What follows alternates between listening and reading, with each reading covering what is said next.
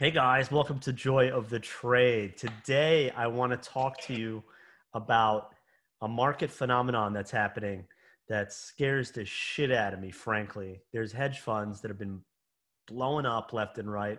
On Friday, I was talking to a couple of trader buddies of mine that were telling me about these huge blocks early in the trading day.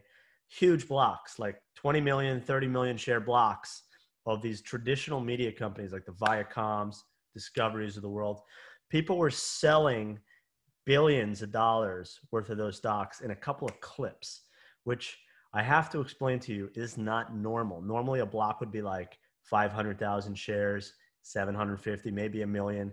Uh, people taking off like 30 million, 50 million, peeling off that kind of size. They don't want to do it in the market. They'd rather be controlling the price. It's fine. There's not much impact. Impact.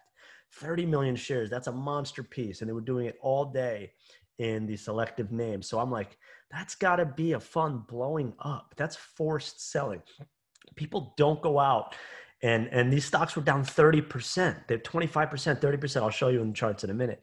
But that's liquidation sign. That's forced selling. And that started making me nervous and I'm starting to think to myself, who's blowing up in these names and why? So I'm going to show you how it's all related to GameStop and that sort of thing right now when we run through the charts. Let's look at let's look at Discovery first because this stock is I was talking last week about the secondary offering that Viacom did. Discovery has been running the same way. So March has been a crazy month for the media companies. They were really, I actually have a monthly strategy, and we were we were buying this stock. We were long this stock, and I put a stop in to protect us uh, around here, which was really important to do because you know you never know with these things. But my strategy picks up an institutional accumulation, and so this stock, it's exactly what happened. And so this stock was getting forced up by by this one family office actually who blew up. And they had uh, 75 billion dollars worth of risk on in 15 million 15 billion dollars of equity. So they were levered. They were borrowing money to own stocks like discovery and viacom. But look at this sell-off. Look at the size of the volume that happened on friday. Over 100 million shares. This thing's used to trading like 11 million shares. So 10 times the amount of size. People had to sell they puked the stock. The, the company's probably going out of business. It's a family office. They run money for, for wealthy, ultra wealthy families. But that's a scary sign. So I started looking, and it's the same kind of story. People were telling you that this is a Reddit stock. This is just like GME.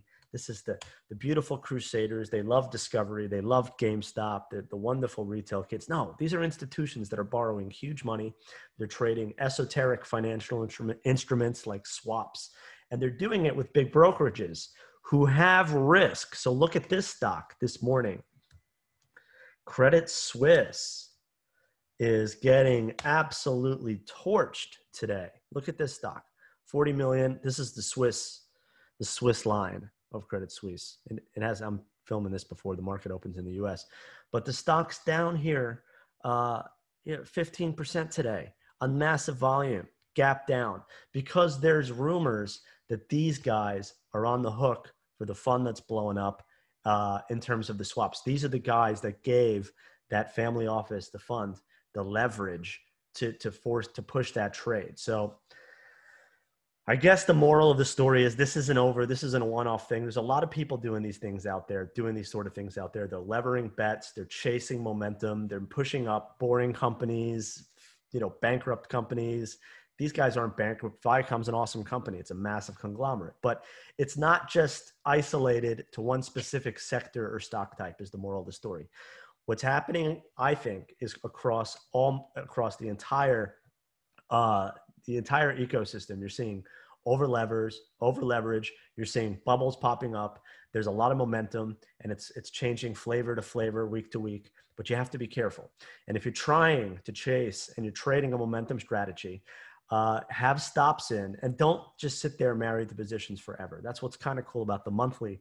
So my monthly system is a momentum system. It's a system that finds institutional accumulation at the beginning of a month and we get out by the end of the month. So on the third trading day, we get in, we get out. I saw discovery. I saw these stocks as being accumulated at the beginning of the month. We bought them, done, did really good. And then we put in a stop. If this type of uh, situation doesn't happen with the blow up, stock trades fine.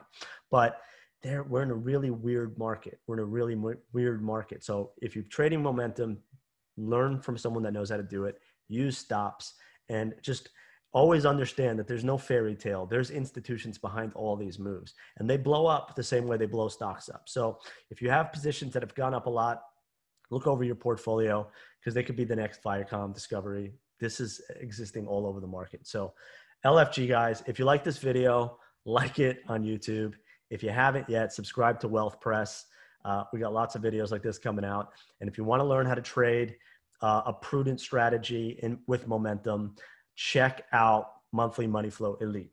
LFG guys, I'll be back with more videos. Take it easy.